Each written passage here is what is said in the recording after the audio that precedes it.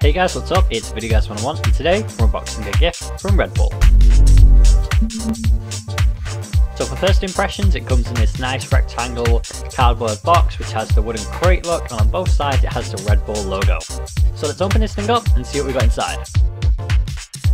So straight here on the front we have a postcard. On the front of the postcard is a beach with the brand new Red Bull flavour in. That is what's in this crate, is the brand new, just released Red Bull Tropical Edition flavour. So on the postcard we've got a Red Bull logo, fits right your message, and then it's like, hey, why go to a tropical location when you can drink tropical Red Bull? Yeah!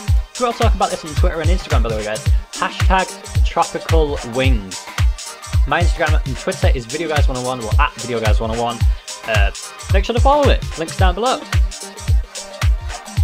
So let's uh, cut to the point. Let's get away from this crate and postcard and let's pop this puppy open and see how it tastes.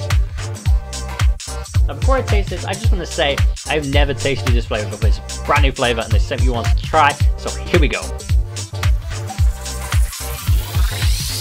Yep. Wow. This is good. I like this. This is nice. This is a good flavour.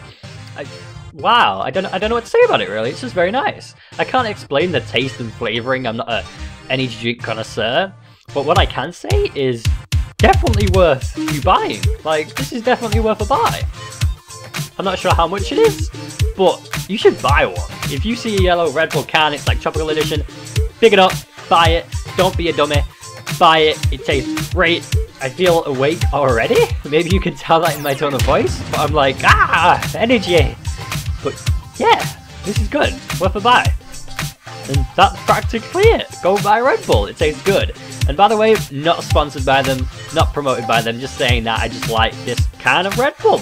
Well, I do now because I've just tasted it and it's good. I like it. So yeah, make sure to leave a like down below, comment and subscribe and uh, thank you guys for watching. Peace out.